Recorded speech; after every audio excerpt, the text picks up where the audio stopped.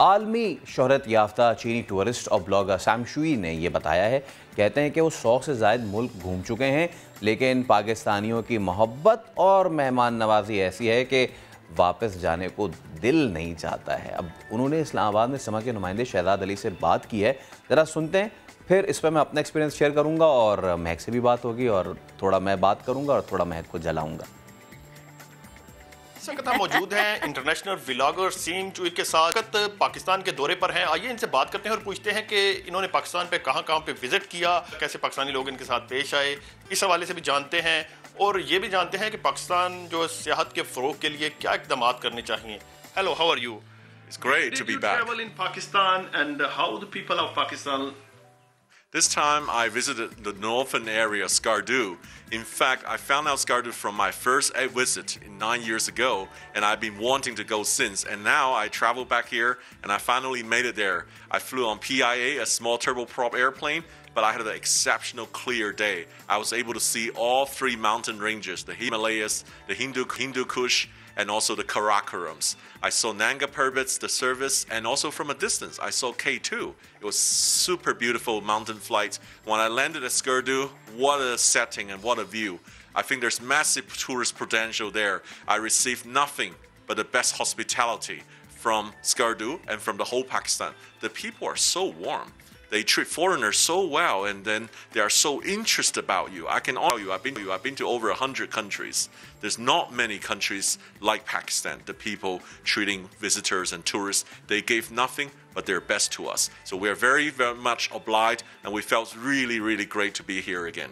Are you traveling on PIA? What kind of airline is what kind of airline is PIA? PIA is a big institutional name and legacy airline.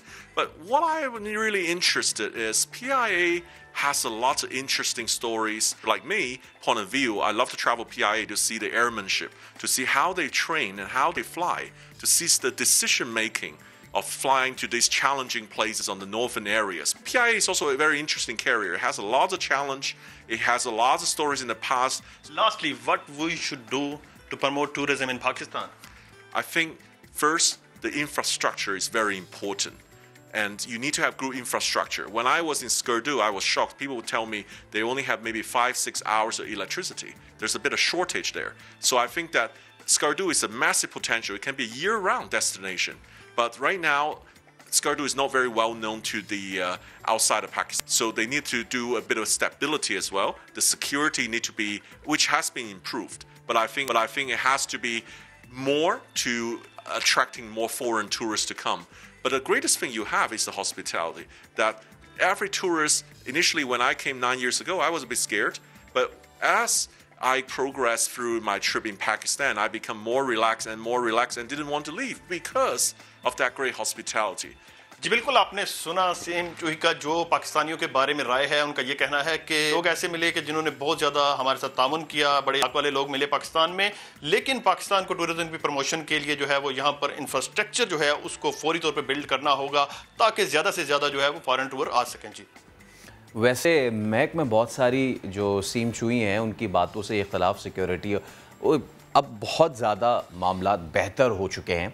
और हाँ इस चीज़ से ज़रूर इतफाक़ कि जो मेहमान नवाजी है ना अब जैसे पूरी दुनिया में बहुत सारे टूरिस्ट स्पॉट्स हैं लेकिन क्यों क्यों लोग पाकिस्तान आने के लिए इतने ज़्यादा गर्विदा हुए जा रहे हैं? वो वो बात यह है कि जब आप जाते हैं वहाँ पे और जब आपको जो मेहमान नवाजी मिलती है ना उसका कोई मोल नहीं है। उसका कोई नेमल बदल नहीं है। वैसे फ़ॉरेन टूरिस्ट जो आते हैं वो भी अननोन होते हैं यहाँ के लिए फिर वो डिस्कवर करते हैं।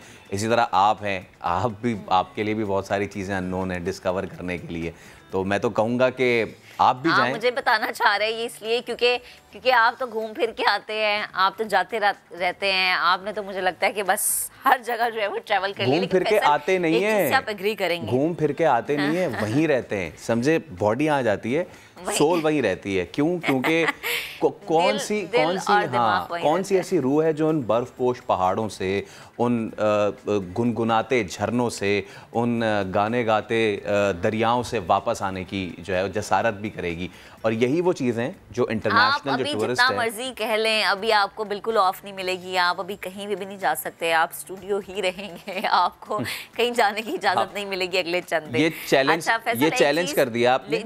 ये हाँ। चैलेंज कर दिया आपने। इस चैलेंज का जवाब आपको इसी वीकेंड मिल जाएगा। ठीक है?